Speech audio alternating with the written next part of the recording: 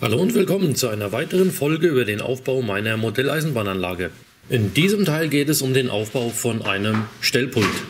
Das Stellpult brauche ich, um im Abstellbahnhof die Weichen und Signalen zu stellen und wie ich das Stellpult aufgebaut habe, das zeige ich euch in diesem Film. Zu den Materialien, ich verwende hier 10 mm Spanholz und 5 mm Hartfaserplatten. Das Spanholz bildet den Rahmen und die Hartfaserplatten den Boden und den Deckel. Wie ihr seht, sind die Teile schon zugeschnitten.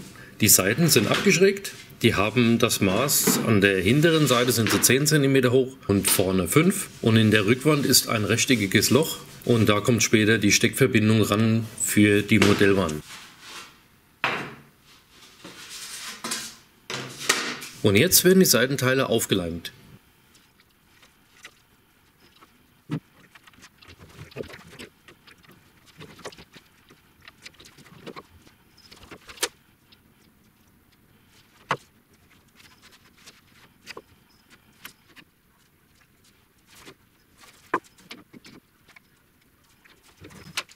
Wenn der Holzleim getrocknet ist, werden die Ecken meines Stellpultes mit Holzleisten verstärkt.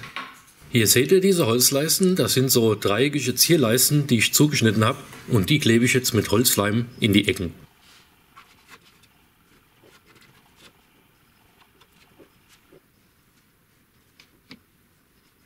Diese dreieckigen Leisten in den Ecken machen es nachher auch einfacher, die Löcher zu bohren, in die die Schrauben kommen, die den Deckel halten.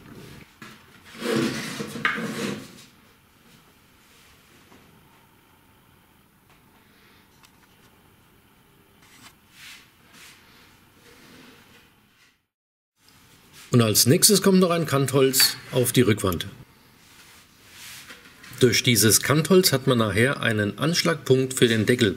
Dadurch lässt er sich leichter ausrichten.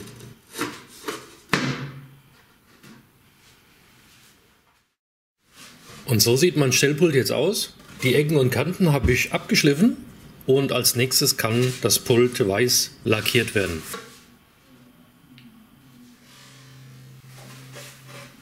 Nach dem Lackieren sieht das Pult jetzt so aus. Dann werde ich als nächstes den Deckel auflegen und ausrichten und dann werden die vier Löcher gebohrt, durch die die Schrauben kommen, die den Deckel mit dem Kasten verbinden. Für das Bohren der Löcher verwende ich einen 2,5 mm Bohrer. Das Vorbohren hat den Grund, damit das Holz nicht reißt, wenn die Schrauben eingedreht werden.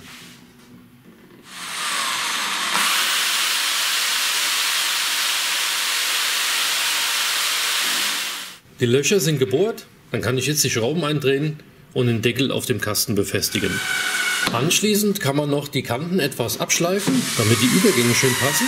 Dann werden die Kanten von dem Deckel noch weiß angemalt und dann kann es dran gehen, das Gleisbild aufzuzeichnen. Und hier seht ihr einen Teil des Gleisplanes, habe ich schon aufgezeichnet. Man sieht auch die Signale und die gebohrten Löcher. Die kleinen Löcher, das sind 3 mm Löcher für die LEDs. Die großen Löcher, das sind 7 mm Löcher und die sind für die Drucktaster. Und so sieht mein Gleisplan komplett aufgezeichnet aus, inklusive der Signale. Und dann kann ich als nächstes die ganzen Taster und LEDs einbauen. Und das Ergebnis sieht man hier. Taster und LEDs sind eingebaut. Und wenn man das Pult, den Deckel jetzt gegen das Licht hält, dann sieht man die verschiedenen Farben der LEDs. Und so sollen dann später auch die Signale leuchten. Und jetzt geht es wieder an die lästige Arbeit mit dem ganzen Verkabeln. Da das ziemlich zeitaufwendig ist, zeige ich euch das nur in einzelnen Fotos. Die Kabel sind jetzt alle verlegt. Auf dem Bild sieht man auch, dass ich das Pult etwas erweitert habe, da ich im Eifer des Gefechts das Stellpult für die Überleitstelle vergessen habe.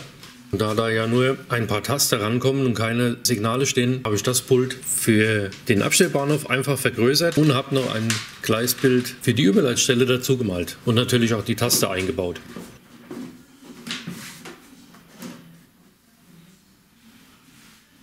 Da jetzt alle Kabel verlegt sind, fehlt nur noch der Stecker, mit dem dann später die Verbindung zum Modul hergestellt wird. Und für diese Verbindung verwende ich einen 50-polischen Sub-D-Stecker und einen 25-polischen. Also insgesamt 75 Pins, also 75 Kabel, die vom Modul zum Stellpult bzw. umgekehrt verlegt werden können.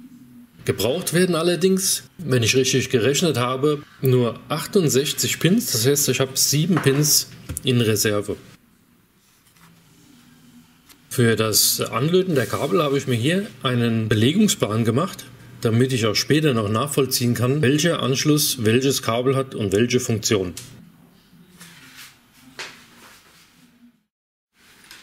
So, hier seht ihr, die Steckverbindung ist angelötet. Eine fehlt noch.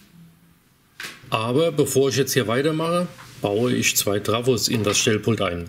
Das eine ist ein 15 Volt Wechselstrom-Travo für die Weichenantriebe und das andere ist ein 12 Volt Gleichstrom-Travo für die LED-Beleuchtung. Die beiden Travos werden so an einer Stelle platziert, dass der Deckel sich bequem schließen lässt und am besten noch ein bisschen Luft hat. Über das weitere Vorgehen, wie ich die beiden Travos an den 220 Volt Stecker angeschlossen habe, möchte ich jetzt nicht eingehen, denn das ist nur etwas für Leute, die sich auskennen. Bevor es zu Verletzungen etc. kommt, lasst es lieber von einem Fachmann machen.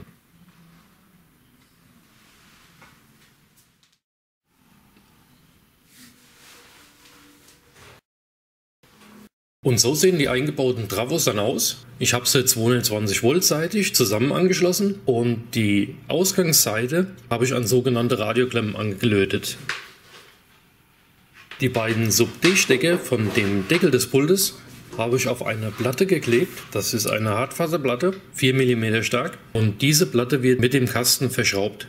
Mein Pult ist jetzt fertig. Hinten die festgeschraubte Platte mit den Sub-D-Steckverbindungen und vorne sieht man, dass die Kabel mit den Radioklemmen verbunden sind. Dann wäre das Pult soweit fertig.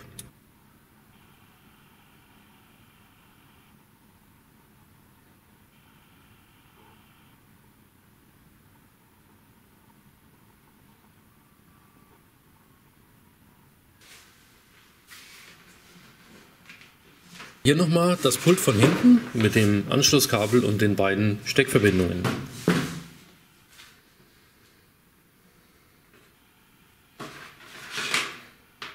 Und dann kann ich jetzt weitermachen mit dem Verkabeln von meinem Modul Abstellbahnhof. Bis zum nächsten Mal. Ciao.